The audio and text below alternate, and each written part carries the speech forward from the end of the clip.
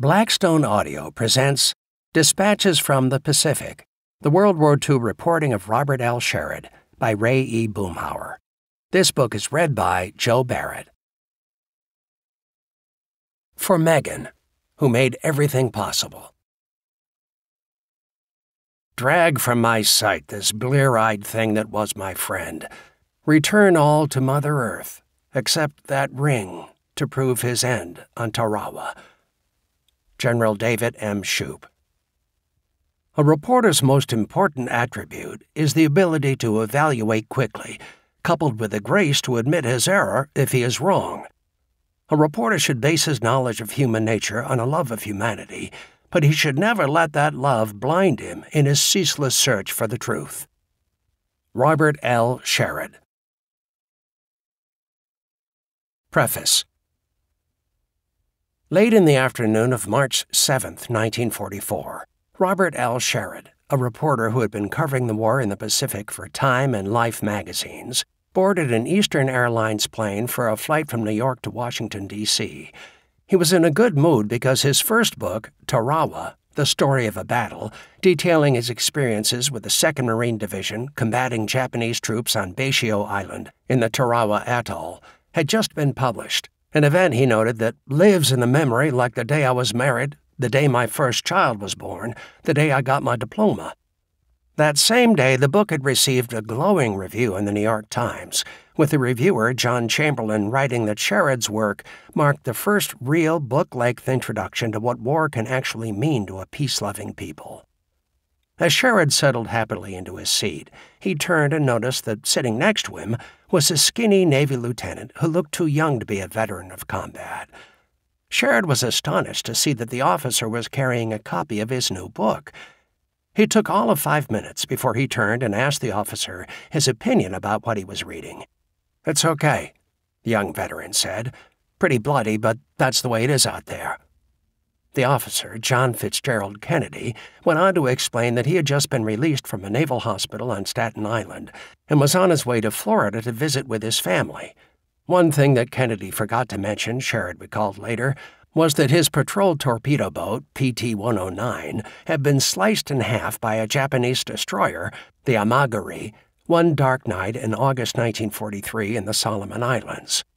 For his courage during the ordeal, Kennedy had earned the Navy and Marine Corps Medal. After Sherrod introduced himself as the book's author, Kennedy passed his copy over to him and asked him to autograph it for his mother, Rose. It was the start of a 19 year acquaintance between the two men that ended at a White House luncheon that President John Kennedy gave for Josip Broz Tito of Yugoslavia in October 1963, just a month before Kennedy was assassinated in Dallas, Texas. You were my first fan, Sherrod reminded the president. There were plenty of other fans of Tarawa, The Story of a Battle, which had been a bestseller upon its initial release and remains a classic of first-hand war reportage. Another admirer of the book is this author. I remember coming across it during my high school days in Mishawaka, Indiana, and it served as a catalyst for a lifelong interest in the conflict in the Pacific during World War II. As someone who wanted to pursue a career in journalism, I marveled at the courage Sherrod displayed in sharing the dangers faced by the Marines battling the entrenched Japanese forces on Betio, and at his skill in describing the often horrific events that occurred during the approximately 76 hours it took to capture the island. As a writer who had previously explored the career of famed World War II correspondent Ernie Pyle, I believed Sherrod's war reporting also deserved to be examined. What Pyle did with his reporting for the average GI during the war, Sherrod did for the Marines who suffered and persevered in the terrible engagements at Tarawa, Saipan, Iwo Jima, and Okinawa.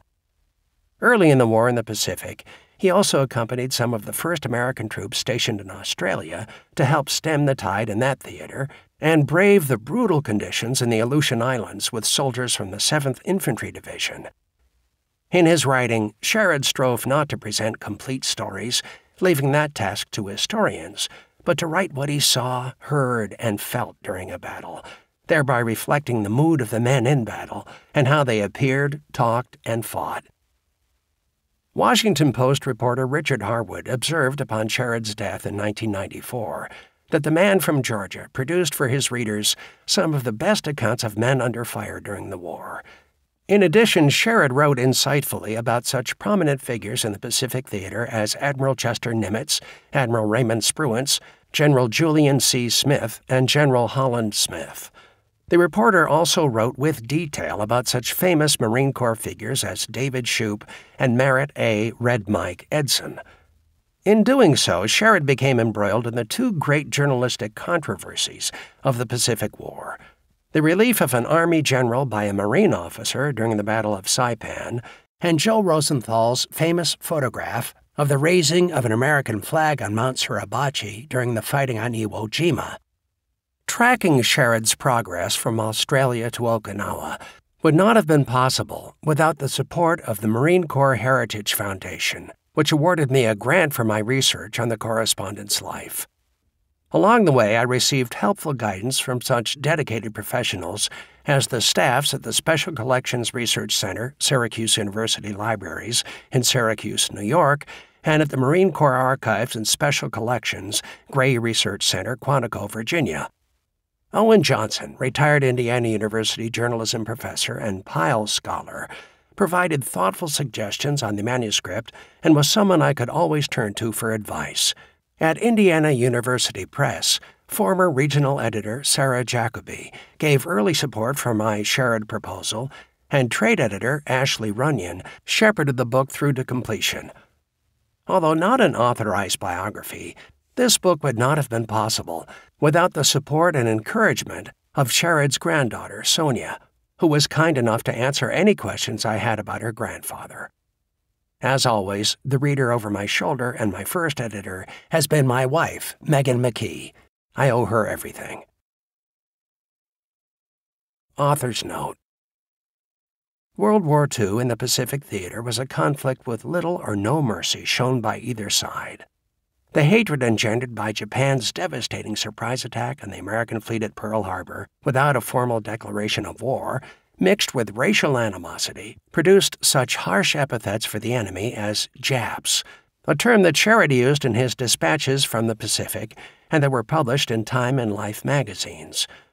Although such terms are anathema today, I have kept them intact when quoting Sherrod's work. As he himself noted in the second edition of his book On to Westward, published in 1990, where throughout the text of the book he originally called the enemy Japs, I would say Japanese now. He also noted that his interpretation of the enemy's fanaticism during the war would need a supplement on Japanese achievements since the war. Fanatical, yes. Cruel, yes. We hope you enjoyed this preview. To continue listening to this audiobook on Google Play Books, use the link in the video description.